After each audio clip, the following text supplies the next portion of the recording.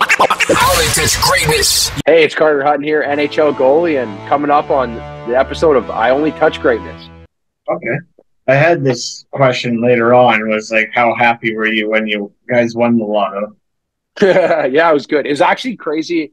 I had this conversation the other day with a young kid. I, I help a few goalies out here, some elite kids, and they're figuring out what they want to do. And they're like, I don't know why I'm stressed. This is supposed to be fun. And I'm like, man, you know what's stressful is I, I remember when they offered me my first contract after that year, and it was like, you know, I have I'd, I'd made a million dollars a year at that point, which is I'm not. It's all relative to the situation, right? I know it's a ton of money, and then I got offered this contract. It was two years, two point six five. That was the first offer from Buffalo. Um, and I'm like, holy shit. My agent's like, that's a joke. Like, that's a bad offer. Like, we're not talking about that. So I've talked to my dad about it, who's this blue collar, been working in a mill his whole life. And uh, he's just like, right on, man. Take it. Take it. What are you doing? What are you doing, you idiot? And then we ended up getting, uh, I ended up getting just over 8 million for three years, which was like, you know, absurd. Right. So it's something to this day I, I found funny. The whole process, I was so stressed trying to make the right decision, but it was like, uh, I don't really think we could make a wrong one at that point you eventually signed the big deal, a three-year deal with Buffalo. Uh, I mean, they had a ton of young stars at the time. Can you tell us about your uh, Buffalo experience? Yeah, it was it was one of those deals where I had a bunch of other like offers. There was about eight eight teams. Um, Buffalo was really the only one where they're like, "Hey, you're going to come here and be the guy." and you're going to get the start. And we got a young team, and we're rebuilding, and they wanted me to help Linus Ullmark kind of, you know, mentor him. They thought he was the goalie of the future, but they were trying to protect him.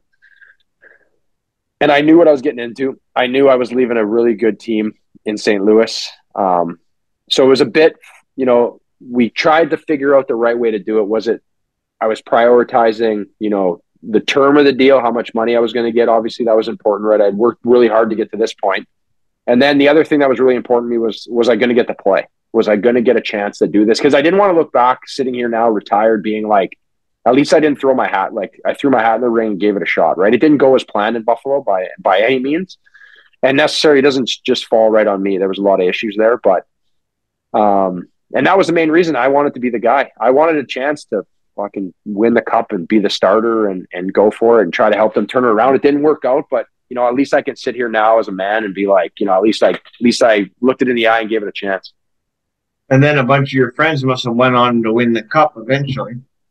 Yeah. Oh yeah. The next year, St. Louis, everybody yeah. won it. And, uh, and that was good too. Like I, I was happy, you know, at that point, I, I think in my year, earlier years in hockey, it was like, fuck, if, if this guy gets hurt or like, you know, if he doesn't play well, you're to get a chance. And like, I feel when I eliminated that way of thinking and just started being, you know, it's it's a selfish league, right? Especially when you're an American league and you're surrounded by people that want you to succeed. Uh, you just learn like control yourself, right? Control what I can control. It goes for everything in life, right? So not trying to act like a motivational speaker here by any means, but I felt when I focused myself on the right things, it was better. And even now, like you just want everyone to do good, man. You can control what you control. So uh, it was pretty cool. And like Robert Bortuzzo is a great friend of mine, Thunder Bay boy. Yeah. So getting him him to win the cup, I we got to go see the cup, went to another cup party. So it was good. I got a lot of cup parties under my belt. yeah. Yeah, bringing a bunch of them.